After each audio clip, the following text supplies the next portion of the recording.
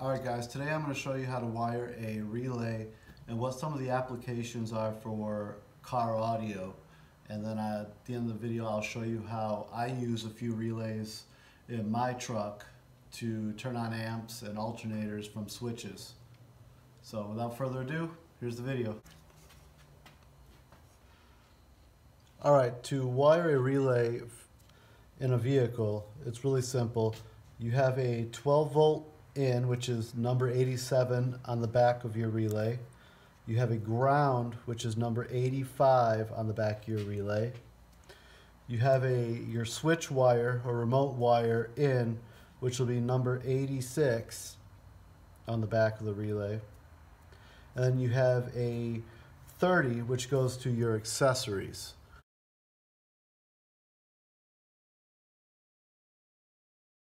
Um, now, accessories could be fans, it could be amps, it could be lights, it could be anything you want it to be.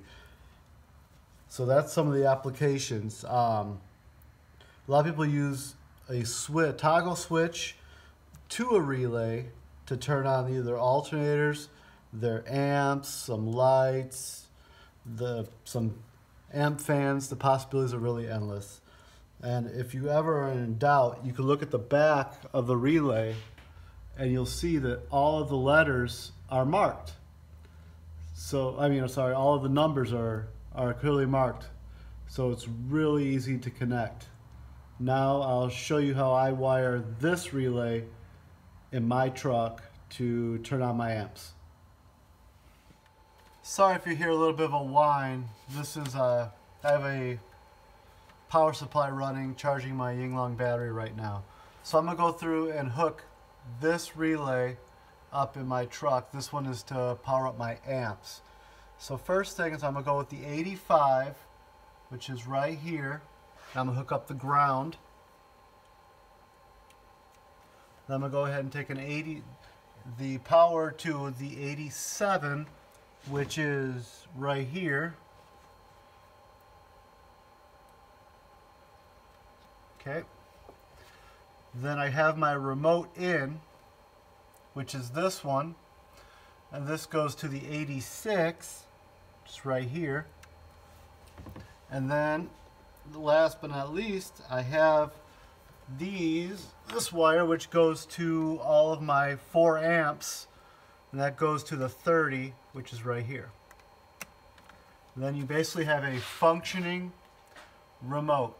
Now I'm going to go ahead and show you how I have this working in my truck. Alright, so in my truck you'll see I have the radio on, but I don't have any of the amps on. See, there's no lights on any of them. So, I have everything hooked up off this toggle switch here. Channel 3 turns on all of my um, amps. So basically what it does is there's a toggle switch that engages and turns on a remote wire leading to the input side, the remote input side of the relay. So if you go ahead and hit this, see it's on, see the voltage change, and all three amps turn on. Now I'm going to go ahead and turn off the toggle switch.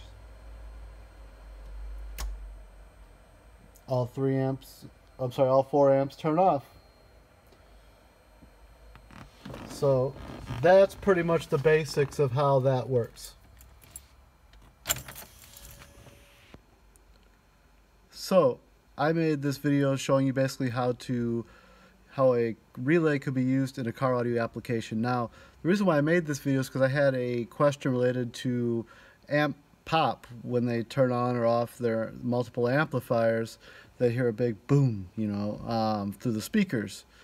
Now, what usually happens is if you have a head unit and you're you have a remote wire and you're turning on multiple amplifiers, um, the head unit can't handle the load and it creates a pop.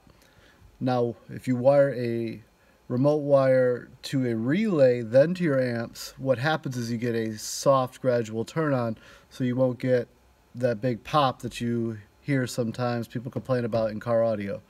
So the question I had was related to that, but a relay is a valuable tool to turn on alternators, to run multiple amps, to run lights, possibilities around this to run basically all of your accessories. Um, if you have any questions, send me a PM, comment below. Remember, like and subscribe. Thank you.